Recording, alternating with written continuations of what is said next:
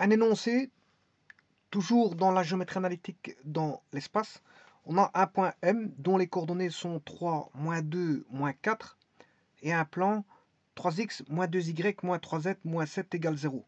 On a une droite D qui est donnée, bon la voilà, euh, c'est x moins 2 sur 3 euh, est égal à y. Bien sûr c'est l'équation coutumière, certaines l'appellent l'équation cartésienne, bon euh, moi je l'appelle l'équation coutumière, x moins 2 sur 3, y plus 4 sur moins 2, et z moins 1 sur 2. Donc on connaît la direction de la droite et on connaît un point de passage puisque le point de passage c'est 2 moins 4, 1. Alors on demande de former une équation de la droite passant par M, parallèle au plan pi et s'appuyant sur D. Donc on a combien d'objets? On en a 3. Alors la première des choses, je vais faire une idée de solution, tout ça. Euh, bon, je peux traiter ce problème-là euh, par le système des contraintes, euh, c'est-à-dire par le traitement des faisceaux de droite euh, des faisceaux de plan, je m'excuse, des faisceaux de plan. Euh, mais le problème va être simple ici, donc j'ai pas besoin de le faire par les faisceaux de plan. Donc euh, le faisceau de plan, c'est une aide quand ça, voilà, ça devient complexe, qu'il y a du calcul, beaucoup de calcul. Le faisceau de plan, je vous ai dit, est un outil adéquat quand il y a des difficultés à résoudre et que le faisceau de plan va venir faciliter les choses. Il ne faut pas que le faisceau de plan vienne compliquer les choses. Or ici, bon, ça va être très simple, vous allez voir. Et donc je n'ai pas besoin des faisceaux de plan. Je ne passerai pas par les faisceaux de plan. J'utilise les faisceaux de plan quand ça devient complexe. Quand le problème est complexe, le faisceau de plan est l'idéal pour euh, euh, être abordé en tant qu'idée de solution. Ici, bon, j'ai pas besoin de faire par les... Je peux le faire aussi par les géométries vectorielles. Je ne vais pas faire par la géométrie vectorielle, je vous le dis tout de suite. Donc, euh, on va se cantonner tout simplement à de la simple géométrie analytique dans, dans l'espace. Euh, purement mathématiques sans faire intervenir trop les vecteurs, bien qu'il y a toujours des vecteurs euh, en, géométrie en géométrie analytique dans, l'espace. Il y a toujours des vecteurs. Mais je ne vais pas faire intervenir la notion voilà, de, traitement de vecteurs. Alors que je, peux le faire, hein. donc je peux le faire par le faisceau, par les plans, par les traitements vectoriels. Euh, alors vous avez le choix, soit vous faites les systèmes d'équations ou le traitement par les traitements vectoriels. Mais bon, si je sais éviter le traitement par les vecteurs ici, je vais éviter. Mais malgré tout, c'est pas pour autant que je ne vais pas montrer quelques vecteurs, euh, dessiner quelques vecteurs. Alors, la première des choses, bon, euh, une des idées de solution, en fait, la première chose, c'est l'idée de solution. Donc, euh, on va placer d'abord ce qui est présent. Donc, on a un point M on a un point M. Bien sûr, on a R cube. Dans R cube, on a un ROD, un repère orthonormé direct, qui est posé. On a un point M, un plan pi et une droite D. Un point M, un plan pi et une droite D. Voilà les objets euh, de l'espace les objets d'R-cube. Pour l'instant, j'ai trois objets. Bien sûr, le traitement va faire intervenir de nouveaux objets, ça vous le savez très bien. C'est le traitement qui fait intervenir de nouveaux objets. Et le traitement, qu'est-ce que c'est? Ben, Il faut que former une équation de la droite, donc on recherche l'équation d'une droite. Il faut un quatrième objet à rechercher. On, recherche euh, une droite D1 dans lesquelles il y a des conditions. Former une équation de la droite passant par M parallèle au plan pi donc D1 passe par M, elle est parallèle au plan pi et que comme sert la, droite D, elle s'appuie sur D, donc elle doit avoir un contact avec D. D1 inter D égale un point que j'appelle Q. Il y a un point de contact. Bon, la première des choses, je vais placer les éléments dans l'espace au travers de GeoGebra. J'élimine graphique 2. Ouais, ben ça, j'ai fait une bêtise. Euh, je vais fermer ça. Voici avoir des petits problèmes de fermeture. Où est la fermeture ici? Je ne la vois pas.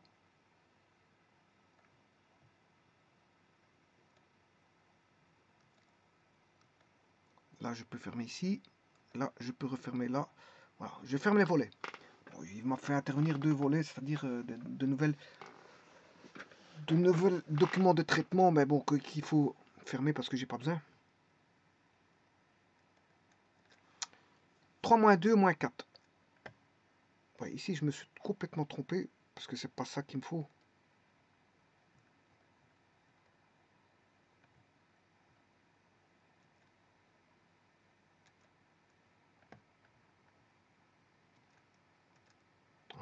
Tout est rétabli. Non, non, c'est pas ça. Non, c'est pas rétabli. Euh, l'algèbre. Et je dois fermer. C'est ceci ici que je dois fermer.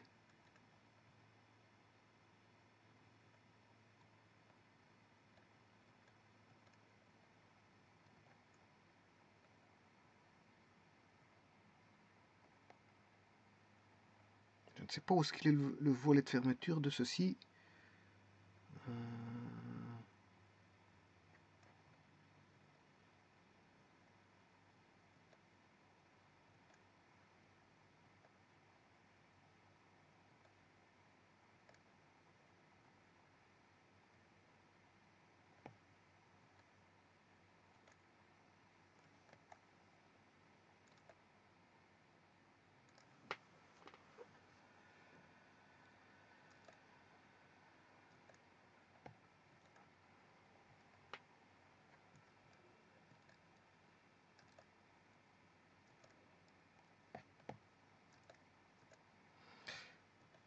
Donc je disais, on va mettre 3 moins 2 moins 4.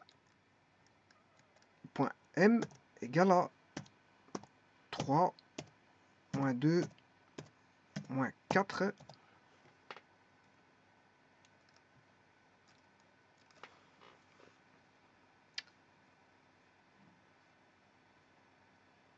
Alors, je vais mettre le point, le plan 3 moins 2 moins 3 moins 7, 3, moins 2, moins 3, moins 7 égale 0.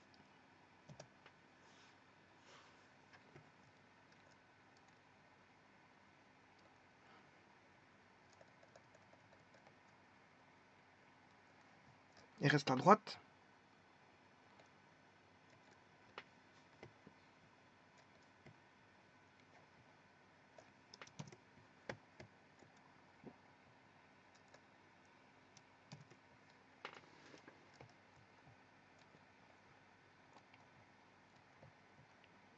Donc c'est x égale 3 lambda plus 2, y égale moins 2 lambda moins 4, et z égale 2 lambda plus 1. Bon, je prends lambda égale 0, pour avoir les points 2 moins 4, 1.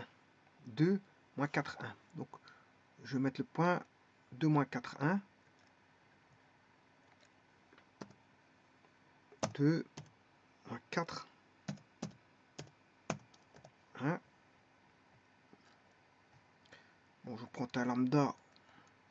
Si je prends maintenant lambda égale 1, c'est 5 5 moins 6, 3. 5 moins 6, 3. 5 moins 6, 3. Je trace la droite. AB. est-ce qu'on a bien 2 moins 4, 1, on est d'accord. 3 moins 2, 2. 3 moins 2, 2. Donc le coefficient directeur, c'est bien 3 moins 2, 2. Et 2 moins 4, 1 en point de passage. Donc on a tous les éléments qui sont dessinés dans l'espace. Donc on a bien la droite le point et le plan. Et maintenant, euh, on va former une équation de la droite passant euh, par M au plan pi, parallèle au plan pi, et s'appuyant sur la droite D. Alors je vais essayer de faire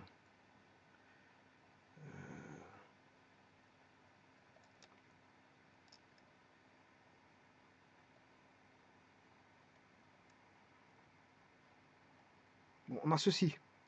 je préfère, je vais voir d'une certaine vue. Voilà. Voilà, on va faire un print screen. Voilà. Copier. Et expliquer méthodologie, une idée de solution pour faire ça.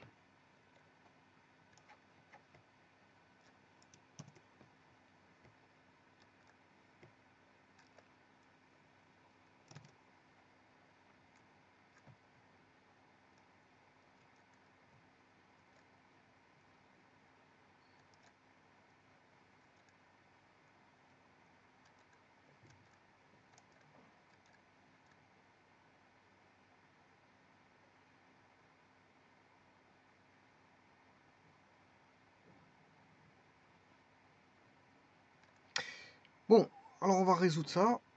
Euh, donc on a notre plan pi qui est là. Le plan pi. La droite D. Et le point M. Alors on va inscrire l'idée de solution.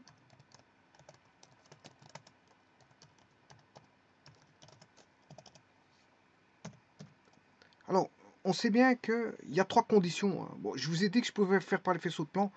Je ne vais pas le faire par les faisceaux de plan. Donc je vais former une équation de la droite passant par M. On recherche une droite D. Donc cette droite doit passer par... Hmm, on recherche une droite. Hein. Cette droite doit passer par M. Ça, c'est la première condition. 1. La droite doit passer par M. Donc D passe par M. Donc la, droite passe par M.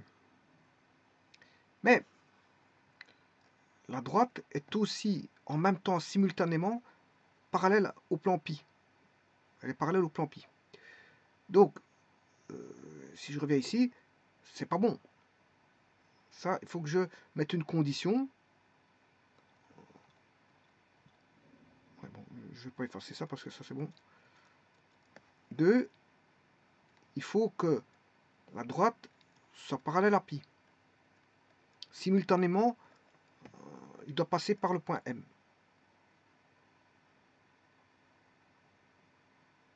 Bon, jusqu'ici c'est simple. Hein.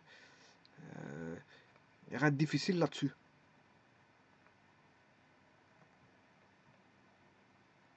Là, c'est très simple. Donc il suffit de mettre une parallèle au plan pi.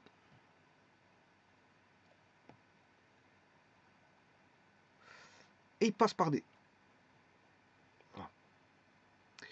Bon, jusque là, il n'y a rien de difficile.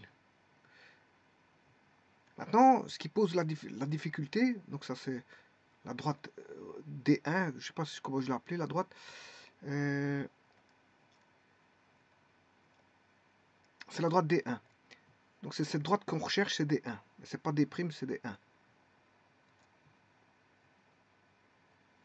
Bon, le tout maintenant, c'est c'est la troisième contrainte qui va compliquer les choses, c'est de s'appuyer sur le point D. Ça veut dire que euh, je dois avoir absolument une intersection D inter D1 doit donner une intersection qui est Q. Et ça, c'est ça qui est le plus... Euh, voilà, c'est la troisième contrainte qui doit, où on doit faire attention. Il faut qu'on ait un point d'intersection. Ce qui veut dire que j'adapte mes, il faut j'adapte mes solutions euh, pour qu'ils touchent le point D, tout en passant par M et euh, parallèle au, au, point pi, au plan pi, au plan pi.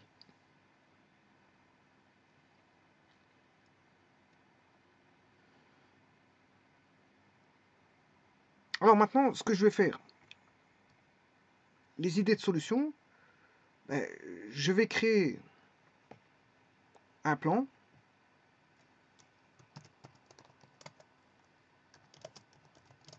que je vais appeler pi prime.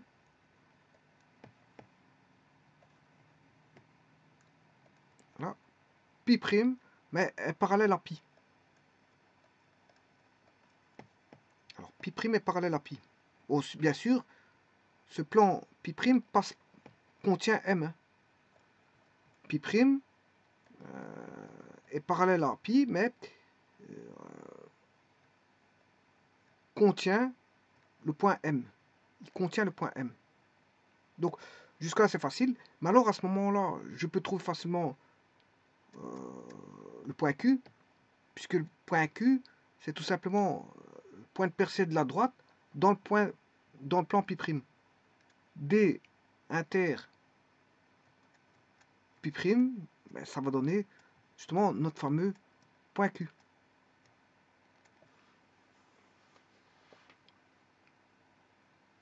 Donc on sait facilement trouver le point Q. C'est ça qui nous pose le plus de problèmes, c'est le, point Q. Donc il faut euh, inclure M dans un plan, mais qui est parallèle au plan pi, et qui, qui, voilà, qui va percer la... Euh, voilà, le, plan est percé par la droite D on a un point qui est Q. Et ce n'est que, comme ça qu'on pourra avoir les, trois contraintes qui sont dire, réunies. Bon, on peut le faire avec les, vaisseaux, encore une fois, je vous répète une troisième fois. Mais ici, c'est simple de faire tout ça. Parce que un plan qui est parallèle, bon, il suffit d'aller chercher les... les, euh, voilà, ils auront même normal, hein, deux plans qui sont parallèles, auront même normal. Donc, euh, même vecteurs normaux, même paramètres directeurs normaux. Donc ce qui veut dire que le premier paramètre directeur normal depuis, je connais. C'est 3 moins 2 moins 3. Hein. Ah, donc je vais tout faire sur GeoGebra ici. Donc euh,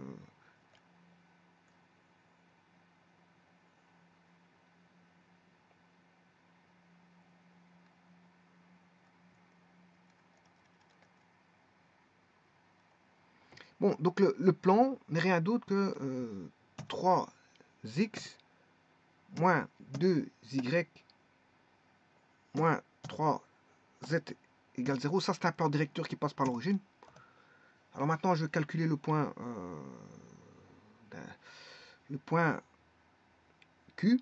Donc 3, c'est 3 doit passer par le point M 3 fois 3. Donc il doit vérifier l'équation de plan.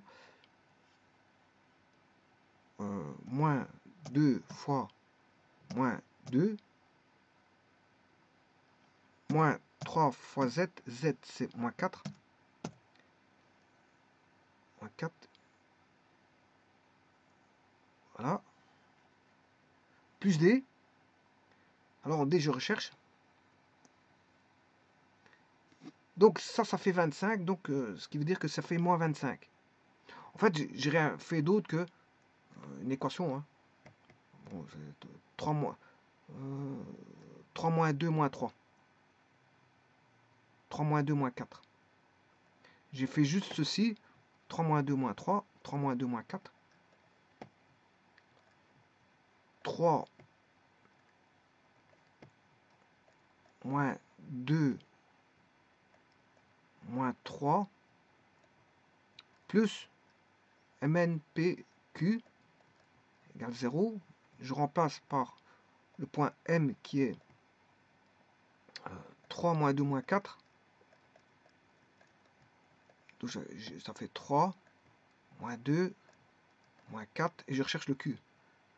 Mais bien sûr, le Q c'est égal à quelque chose. C'est-à-dire ici vous aurez 9 plus 4 plus 12, 16 plus 9, ça fait 25 donc on a 25 plus Q égale 0, donc Q égale moins 25. ça c'est le plan. Euh, le plan c'est moins 25. Donc c'est 3x moins 2y moins 3z moins 25 égale 0. Voilà, il passe bien. Alors j'ai plus besoin du plan directeur, je l'enlève. et là il passe bien par euh, le point M et il est parallèle euh, voilà, on voit qu'il est bien parallèle. Ah, si je vais chercher une vue, une vue de face.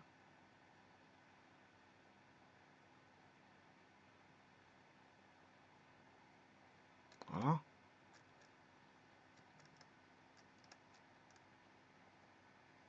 Ah, pas, pas de ce côté-là.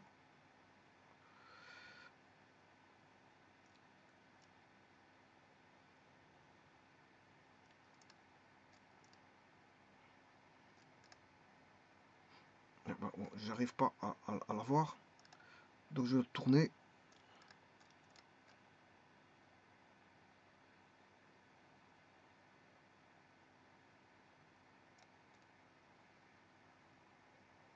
Avec c'est parallèle. Donc on a déjà une condition qui est le parallélisme et le point de passage. Maintenant, euh, il suffit d'aller chercher, voilà, le point de percée. Euh, le point de percée, il est là-bas vous voyez qu'il est... Bon, je vais vous mettre tout de suite le point de percée.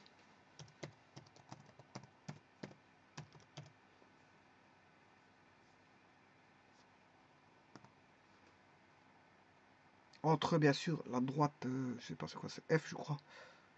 F, ouais. F. Et le plan D. Voilà, c'est ça, c'est le point C. Bon, alors, le point de percée, c'est simple. Hein. Euh, vous avez le plan. L'équation du plan, ben, c'est...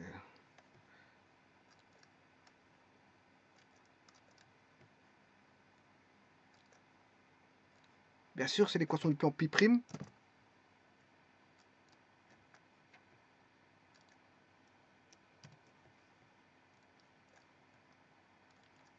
Alors, ne pas oublier de changer parce que c'est moins 25, hein, pas moins 7.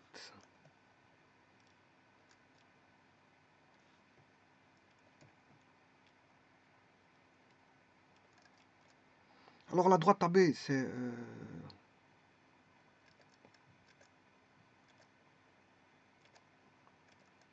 ceci. Ça, c'est la droite AB, c'est D je vais chercher ceci.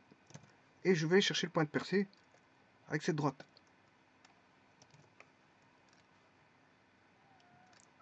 Donc c'est D interpi.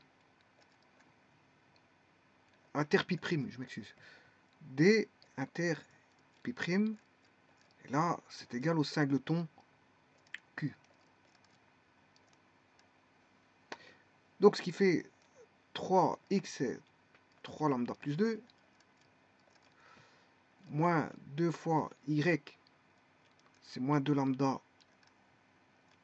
moins 4, moins 3 fois z, c'est 2 lambda plus 1, moins 25 égale 0. On va chercher le lambda. Bon, je vais faire un calcul.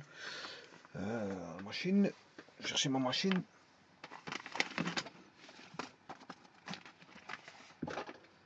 Je ne sais pas où ce que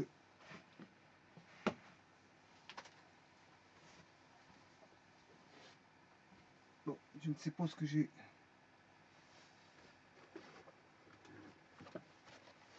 Ouais. Bon, je, je calcule lambda. Ça fait 9. 9 plus moins 2 fois moins 2 plus 4. Moins 6. 7 lambda. 7 lambda.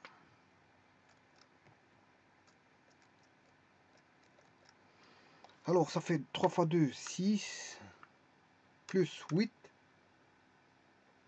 plus 25 fois 3, 75, ça fait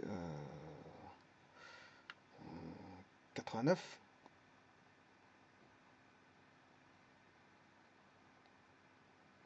Euh, ouais, je me suis trompé, ça peut... Non, je me suis trompé, je m'excuse. C'est 3 fois 2, 6, plus moins 2 fois moins 4, plus 8, moins 3 fois 1, moins 3, et puis je vais faire moins 25. Voilà, ça qui fait moins 14. Et donc, le, moins 14, il passe de l'autre côté, ça fait 14. Donc, lambda vaut 2. Donc, si je remplace par 2, le point de percée vaudra 2 euh, fois 3, 6, ça fait x vaudra 8. moins 2 fois 2, moins 4, moins 4, moins 4, moins 8. Et 2 fois 2, 4 plus 1, 5. Donc 8 moins 8, 5. 8 moins 8, 5, c'est juste. Voilà, donc ça c'est le point de percée. Donc maintenant, il faut que je dessine euh, euh, cette droite. Parce que qu'est-ce qu'on me demande? J'ai le point. Maintenant, il faut que je dessine la droite MQ. Il faut que je dessine la droite MQ. Parce que euh, ce que j'ai là, c'est uniquement le point de percée.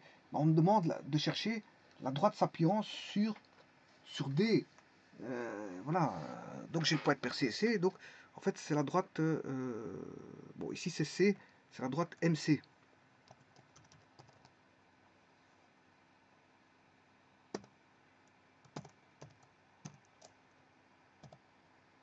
Alors maintenant, pour mieux voir les choses, bien sûr, je vais enlever, je, vais chercher par manuellement, hein, je vais vous montrer comment on fait. Dans un premier temps, je vais vous montrer la solution.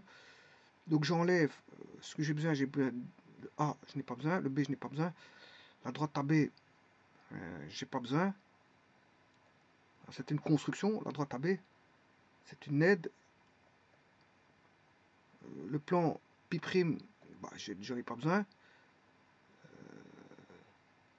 Et là maintenant, qu'est-ce qu'on remarque? La droite est bien parallèle au plan, puis il contient C. Ah oui, oui, mais il manque la droite AB. Parce qu'elle doit être soutenue sur la droite AB. Donc la droite AB, je ne peux pas l'effacer. Voilà, elle est soutenue sur la droite AB. Donc les trois conditions sont réunies. La droite recherchée, bon, la droite donnée, euh, je, vais la mettre en couleur. Voilà, elle est en bleu. Là. Ça, c'est la droite qui est donnée. Et la droite recherchée, c'est celle en noir. Hein. La droite recherchée est celle en noir. Alors, euh, comment trouver l'équation de la droite? Ben Ça, c'est simple. Hein. Vous avez euh, un point de passage. 8 moins 8, 8 moins 8, 5, qui est Q. C'est le point de percée.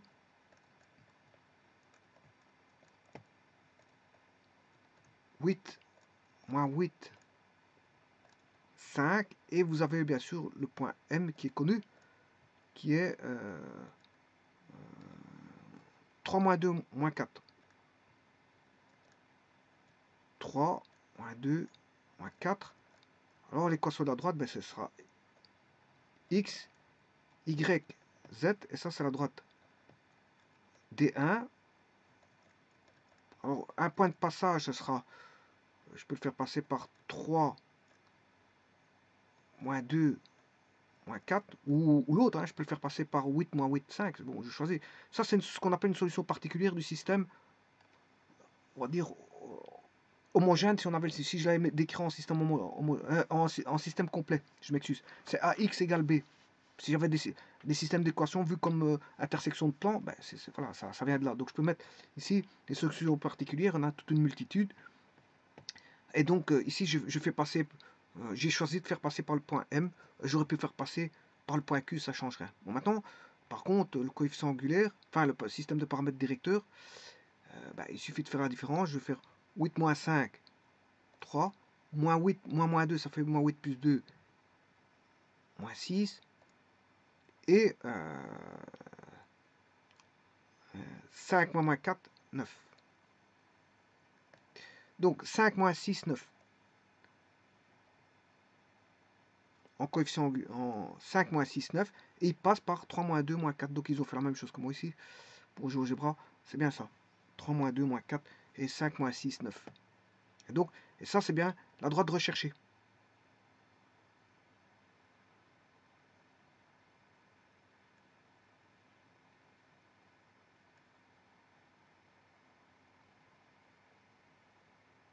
Donc, pour ça, il a, fallu faire intervenir des objets intermédiaires, tels que, par exemple, bon, j'avais besoin de deux points pour construire la droite, ça c'est de 1. J'avais besoin d'un plan directeur euh, d'origine pour avoir la direction, enfin, pour avoir ouais, la direction de la droite. Euh. Ici, j'ai pas besoin, ça c'est pas, c'est pas, bon, j'ai pas trop besoin de ça. Euh, voilà. Par contre, j'ai besoin du plan, là. Ça, c'est le plan pi', qui est parallèle à pi, pour chercher le point être de la droite D dans pi'. De cette manière-là, la droite D est parallèle, D1 est parallèle au plan pi et elle s'appuie sur la droite D.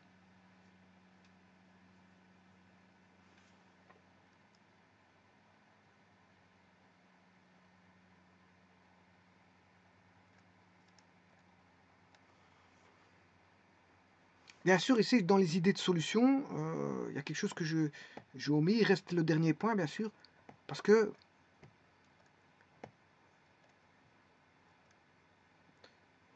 créer un plan pi prime 2 intersection. Et puis le 3, bien sûr, c'est la droite. La, solution, c'est la droite D1 euh, qui passe par Q et D1 passe par M. Bien sûr, il faut construire cette droite. Hein. Il faut terminer le travail parce qu'il ne faut, pas s'arrêter en plein milieu. Hein. Parce que ce qu'on demande, c'est la droite D1. voilà, il faut chercher la droite D1. Donc il y a trois points, si vous voulez. Il y a trois points. Attention qu'ici, ouais, D inter D1. Ouais, c'est ça. Donc il faut créer un plan pi' parallèle à pi, une fois que c'est ça, bien sûr contenant le point M. Euh, ensuite, euh, chercher le point de percée de la droite D sur le plan, ce plan pi' qui vient d'être créé, ça c'est 2.2. Et le troisième, ben, le point de percée qui vient d'être trouvé, je le relie avec le point M pour former l'équation de la droite D1. Et cette droite D1 ben, s'appuie sur la droite D et est parallèle à pi et passe par M. Donc euh, les trois conditions sont réunies. Je vous remercie.